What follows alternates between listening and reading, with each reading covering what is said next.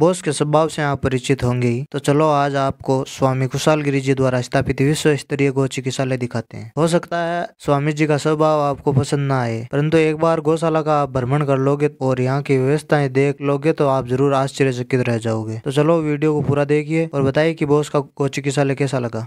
अभी अपने करीबन सौ के लगभग डॉक्टर्स और कंपाउंडर की टीम है जो चिकित्सा सेवा में लगी हुई है। यहाँ और जोधपुर शाखा में। आइए, आपको अंदर से मेडिकल रूम दिखाते हैं यहाँ पर गौ माता के लिए सब प्रकार की मेडिसिन और ऑपरेशन के औज़ार मौजूद हैं।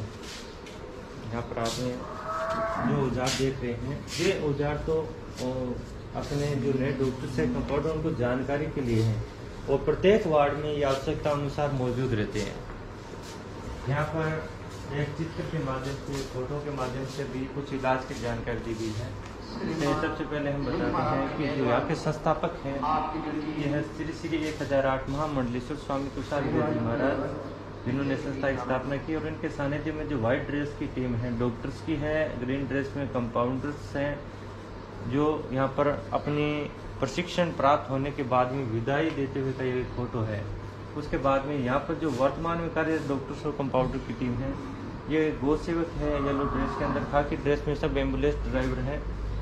इसी प्रकार ये आगे चलते हैं, कुछ इलाज के फ़ोटो आते हैं। परसों पीड़ा से पीड़ित बीमार गौ माता, जो प्रेगनेंट गौ माता आई, मगर उनकी डिलीवरी है, जो नॉर्मल डिलीवरी संभव नहीं थी तो उसका सीजेरियन ऑपरेशन करके उसका बच्चा बाहर निकाला गया है। उसके बाद में गौ माता नीचे स्वस्थ है। इसी क्रम में आगे चलते हैं तो आग से बुरी तरह से झुलसी हुई गौ माता आई। तो इस फ़ोटो में दिखाया गया, यहाँ पर इसका उपचार करते हुए दिखाया गया उपचार के बाद में जो गौ माता है, लगभग कुछ स्वस्थ हो गई है, वो दिखाया गया है। और इसी प्रकार असामाजिक तत्वों के बारे में यहाँ पर दिखाया गया, जिन्होंने गौ माता के पेट में कुलाड़ी मार दी है। उसका ऑपरेशन करके उस कुलाड़ी को बाहर निकाला गया है, बाद में गौ माता नीचे स्वस्थ है।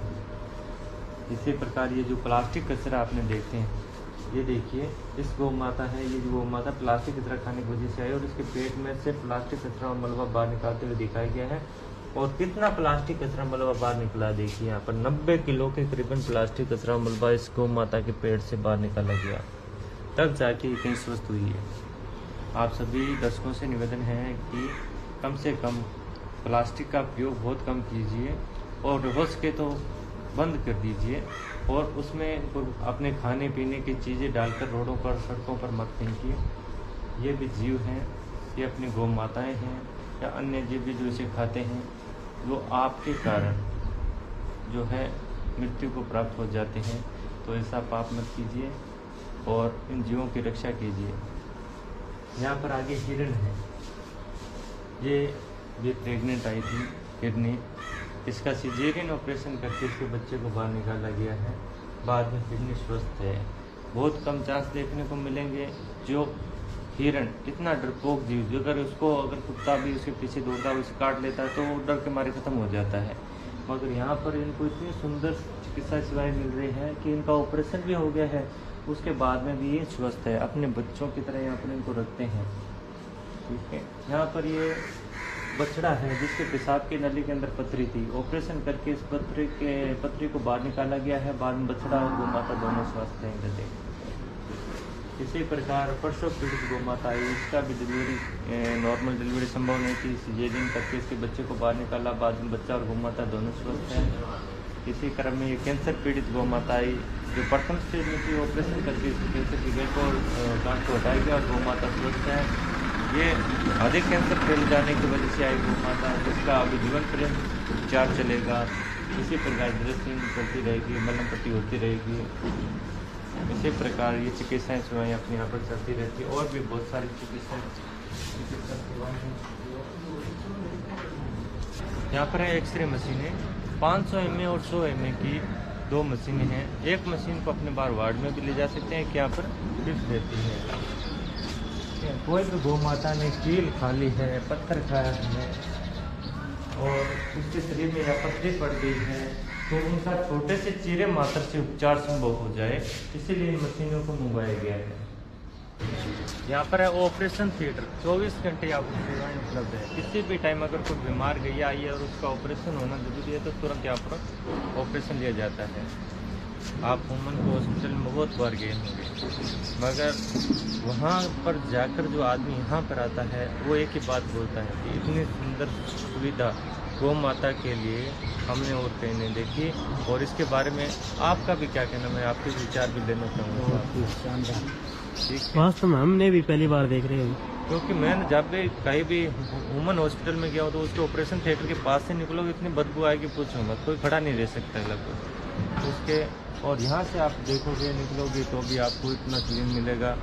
और कोई भी इतनी ज़्यादा बदबू वगैरह कहीं पर भी नहीं देखने को मिलेगी इतनी बीमार गया है मगर आपको कहीं से भी कोई बदबू नहीं मिल मिलेगी तो फिर डेली ट्रीटमेंट चल रहा है तो उनको रात मिलती रहती है यहाँ पर गुफा है। जिसके अंदर अपने चार वेद छः शास्त्र, अठारह पुराण, एक सौ आठ उपनिषद, रामायण, गीता, महाभारत, इनका एक संग्रहालय रखा गया नीचे ताकि अपने जो प्राचीन धर्म ग्रंथ है, वो सुरक्षित रह सके और आने, आगे जो आने वाली पीढ़ी है, वो इनका मार्गदर्शन प्राप्त कर सके। क्योंकि कुछ धर्म ग्रंथ जो अपने देखते हैं, पहले के ज़माने में, जो सुरक्षित नहीं होने की वजह से विलुप्त हो चुके हैं, खत्म हो चुके हैं अभी नहीं देखने को मिलते हैं। तो यहाँ पर वो धर्म ग्रंथ है, नीचे। यहाँ पर ये सत्संग भवन है जहाँ पर अपनी संस्था के संस्थापक बैठते हैं और प्रत्येक आने और जाने वाले प्रत्येक व्यक्ति का अतिथि देव बहू के तहत यहाँ पर आदर सत्कार होता है। आने वाले प्रत्येक अतिथि को यहाँ पर, जैसे गुरु जी को प्रणाम करते उन्हें पुस्तक दी जाती है, उन्हें प्रसाद दिया जाता है, उनको मंत्रोच्चारण द्वारा उनका तिलक किया जाता है, उनकी चाय पानी छाछ के लिए यहाँ पर व्यवस्थाएँ हैं, व्यवहार की जाती है जानकारी दी गई है, और यहाँ पर सामने देख है जहाँ पर खून पेशाब बीमारियों की जाँच, वर्तमान में कार्य डॉक्टर्स और कंपाउंडर की टीम है। ये गो सेवक है येलो ड्रेस के अंदर। यहाँ पर है ऑपरेशन थिएटर 24 घंटे आपको सेवाएँ उपलब्ध है। यह उपचार स्थली, जहाँ पर कह सकते हैं गौ माताओं की डेली ड्रेसिंग की जाती है, इनके गाँव से जितने भी बीमार गौ माताओं के फ़ोन कॉल्स आते हैं, वो यहाँ पर सुने जाते हैं। आने जाने वाले प्रत्येक गौ माता का इधर रिकॉर्ड रहता है। यहाँ पे आगे आपको दिखाया गया है, इस चार्ट के माध्यम से। कि छह राज्यों से और आठ सौ गौशालाओं से अपने पास में बीमार गौ माता यहाँ। हरियाणा उत्तर प्रदेश, राजस्थान, पंजाब, मध्य प्रदेश सभी देश की अपने 800 गौशालाएँ हैं। वहाँ से अपने पास में बीमार गायें आ रही है। रोज़ाना की पैंसठ से सत्तर के करीबन बीमार गैया इधर आती है। बीमार रख ली जाती है और स्वस्थ दे दी जाती है, जिसमें मैंने आपको जानकारी दी है।